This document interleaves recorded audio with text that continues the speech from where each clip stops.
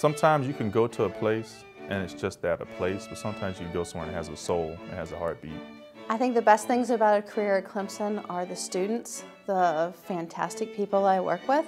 You get to do teaching, research, scholarship, service, and frankly, you get to select your own balance. And the fact that I get to swim every evening in the lake in the summer. I came here about two years ago and just love it. There's something about this place where it's a sense of community, it's a sense of place here. There's something in the air.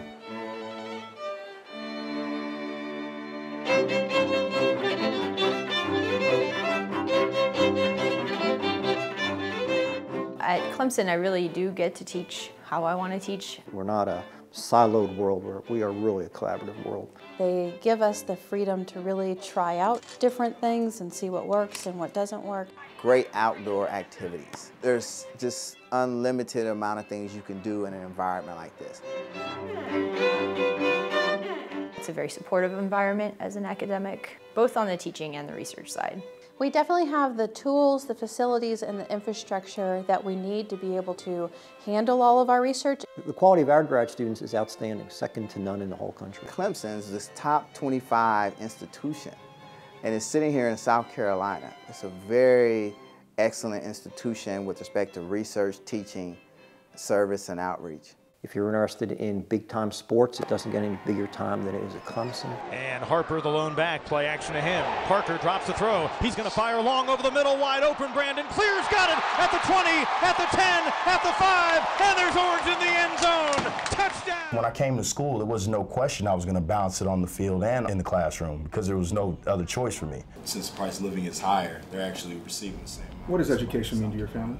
Everything. Everything. Education comes first. Uh, we actually, our first scholarship uh, was actually from Stanford. We were recruited by 25 D1 universities. I came in here excited to play football, but at the end of the day, I was more excited when I would get an A in a particular class. I know you mentioned earlier about Machiavelli. Did he do a large majority of his work? I always wanted to go to grad school. I love to learn. I love knowledge. 15 to 15 chapters. I teach classes here for mental health, my own mental health. My name is Jim Barker, and I serve as president of Clemson University.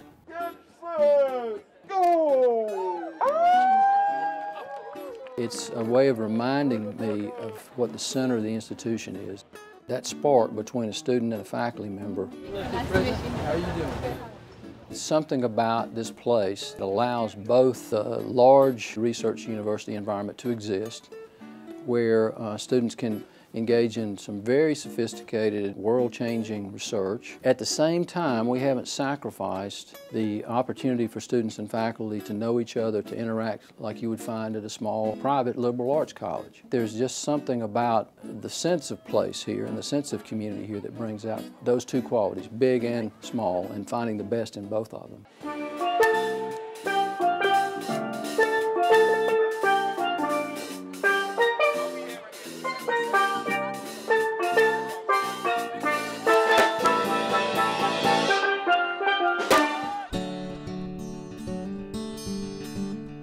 I was sitting in my office at SUNY Cortland and I looked out the window and it was a cold upstate New York day. Blizzard, sleet, you couldn't tell if it was snowing or blowing. I'd had an offer from Clemson I was debating. I called down here and I talked to a colleague and I said, look out your window and just tell me what you see. And she said, well, Fran, I see sunshine, I see some students walking around. And I said, Ann, I'm coming to Clemson. I hung up the phone and I've been here ever since.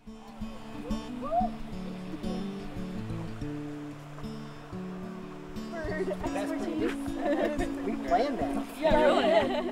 I'm Fran McGuire, been here since 1981, and I'm a professor of parks, recreation, and tourism management. If your passion is teaching, you can meet that passion here. If your passion is research, you'll have opportunities to do that here. If it's service, you'll have opportunities to do that here. If you want to do something professional, they allow you to do it.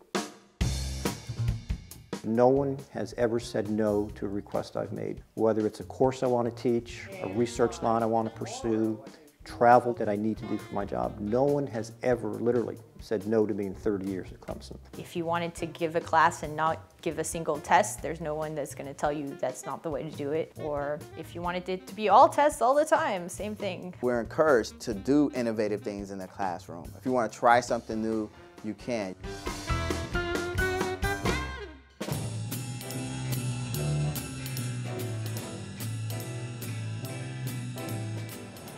My name is Juan Gilbert. I'm currently the chair of the Human Centered Computing Division within the School of Computing. I've been at Clemson for just about two years now. The weather is gorgeous. For me as a fisherman, uh, there are tons of opportunities. There's water all around us, literally. We just go out and relax. I was in the airport and sat on a magazine, and on the cover of it, it had a person texting while driving. I said to myself, we know how to fix this. And we came up with this concept we call voicing, by which you don't have a text to look at, and messages that come to you are actually read to you through uh, a phone call. You're gonna type a message to me. Shelby Darnell. Hey, Dr. Gilbert, I need my grade changed for the better. Laughing out loud. And you can reply with your voice as well. I was in voice and email mode, so I received an email and it called me and delivered the message. We submitted a patent on that. The administration does encourage us and gives us the ability to be entrepreneurial.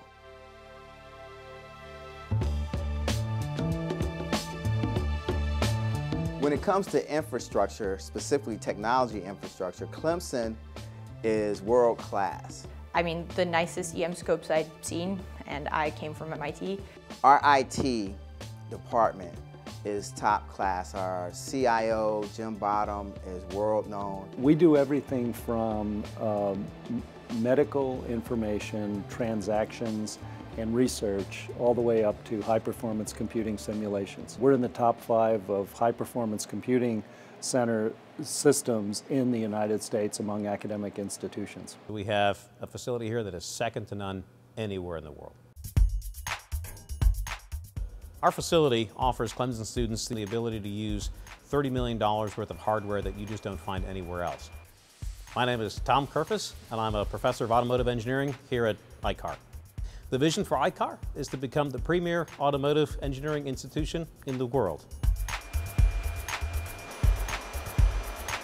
We're doing state-of-the-art research in terms of automotive technology, not only design and development, but also testing and manufacturing, and we're educating the next generation automotive engineer. Students are coming from all over the world. Not only students, but we have a lot of visiting faculty members from universities all around the world visiting over here because they want to be part of this team. Germany, France, Italy, Spain, Japan, Korea, China, Taiwan, Pakistan, Mexico, Canada, India. They're from all over the place.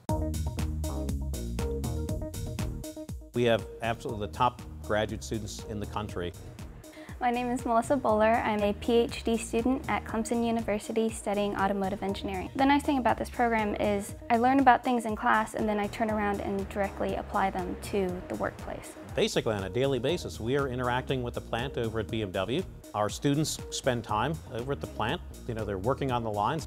The public-private partnership aspect of ICAR is very unique. It's a very different situation than anywhere else in the United States. There's nobody who's here because they have to be here. They're here because they want to be here. And just being in such a supportive environment around people who love doing what you're doing, it's great. Clemson makes it easy to, to talk with and collaborate with people from other departments. We work with folks from automotive engineering, civil engineering, bioengineering, mechanical engineering. I can call someone over in material science or chemical engineering or biological sciences. I've even had conversations with people from the English department.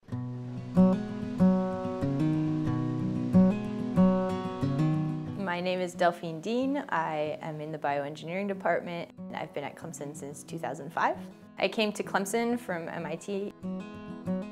Brian had applied to the job in the computer science department and then they saw that we were married and so they asked him if I was interested and so they actually really went out of their way. One of the things that really surprised us when we moved was our house is four, five times bigger than our apartment in Boston, and we pay less in mortgage payments per month than we did in rent by a lot. I go down to Greenville twice a week for ice skating, and then I do ballet, and I was in the Nutcracker uh, last December. Being up on point again in a tutu was something of a new experience. Oh, go! I also teach four creative inquiry classes It's somewhere in between a class and research, and you kind of give them a problem and they work on it, and it's very much student-led. If we were going jugular, you would come in on this side. The first one I started is on medical training simulators. Right now, when you go to the hospital, you might have somebody who's performing that technique the very first time and you're their guinea pig. When it goes wrong, you can puncture a lung, you can uh, hit the heart, and so having a simulator that helps people practice could really make a really big difference. I love teaching at Clemson because the students really love to learn. They're very good and many of them don't know it, so they don't have kind of this attitude that they're the best thing ever. I've really enjoyed my academic experience at Clemson. I've really enjoyed the classes I've taken, and I've actually really enjoyed my professors. The professors have been great. They're inquisitive, they're eager, and they're the top of their class coming in. I've been here for 30 years. In that time, what I've noticed is the quality of students has improved remarkably. Our middle level students today are probably as good as our best students in 1980. It's amazing to me the creative things that they come up with. My name is Johnell Brooks. This is my sixth year at Clemson and I'm in the psychology department. We look at the physiological components of aging, the engineering issues that are associated with aging, and how we can design cars to be more appropriate for aging drivers. Instead of just talking about aging, I'll really have the students try to experience that firsthand. So they'll wear glaucoma glasses and cataract glasses and try to do tasks of everyday living like open up a bottle of pills and pick out the green pill. We have them dress up as pregnant women and wear casts and wear different types of restraints so then that way they really think about having to get into a car and interacting with a vehicle. Our ultimate goal is to keep drivers on the road as long as safely possible. Our grad students are absolutely fantastic. They always push us in new directions. They're just so excited to try new things that you're just always trying to keep up with them. Clemson has retained its personal nature. They do a good job of, of kind of mentoring you as a, a young faculty member. You get senior faculty members coming and helping you out. My guess is the provost probably knows 75% of the faculty here by name. I can email the provost or call her and set up a meeting anytime and I get in. Uh, my dean is very accessible. Uh, even the president, I email him and he replies.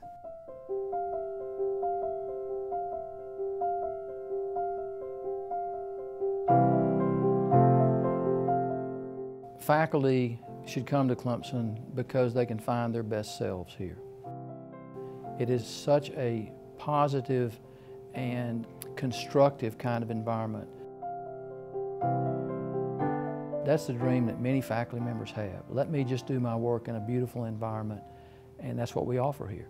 The weather is gorgeous. You have an excellent student body. You have an administration that will support you and help you to be the best you can be and facilitate your promotion and tenure. It's very hard to get a faculty member to leave this place because the quality of life is great. We have an excellent student base in terms of graduate and undergraduate students, uh, and the facilities really are second to none. From, from the day I arrived on campus to this day, I was comfortable and happy to be here. I've been here for 31 years now. Um, I've been to many other places. There's nothing like coming back to Clemson.